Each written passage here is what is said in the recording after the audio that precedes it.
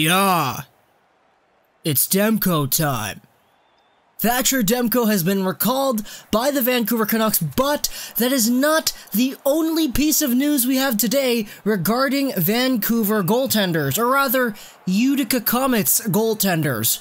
Let's start with the first, the biggest piece of news right here. That is Thatcher Demko getting sent up from the Utica Comets over to the Vancouver Canucks. It is Demko time, baby. We've been waiting for this since the 2014 draft, the day that Thatcher Demko steps in as an NHL regular, albeit in a backup position, but he's gonna be in our team probably for the next few months, at least that's what the foreseeable future tells us.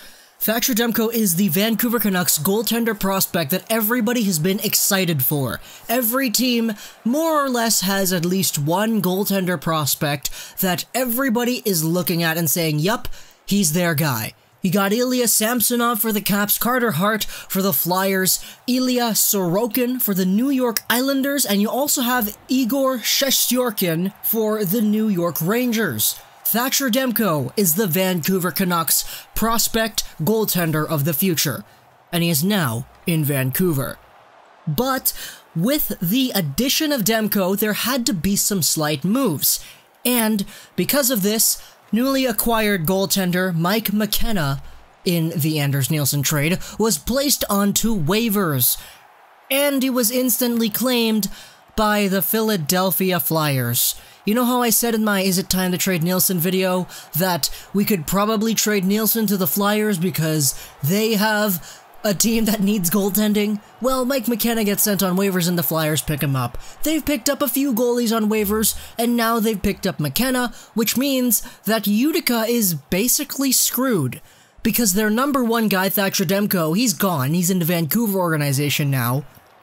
And the guy who was supposed to replace Demko in Utica got picked off by the Flyers, which leaves Utica with an injured Richard Bachman and an Ivan Kulbakov who was supposed to be the ECHL starter. Which leads to our third piece of news today. The Utica Comets have signed, you're gonna have to bear with me here, Alex Sakellaropoulos to a PTO. PTO professional tryout contract. This new guy is going to come in here, most likely be either the 1A, 1B starter with Kulbakov, or he might even take the entire starting role. He's pretty good in the ECHL if you look at his numbers.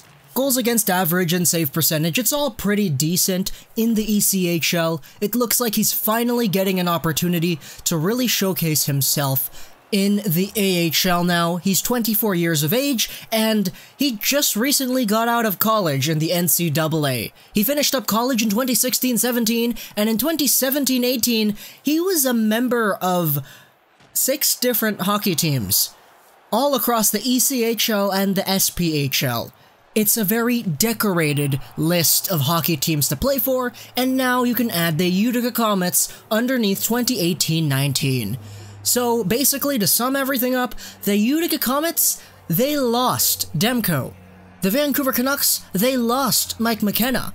But the Vancouver Canucks gained Thatcher Demko, and the Utica Comets gained Alex Sakellaropoulos.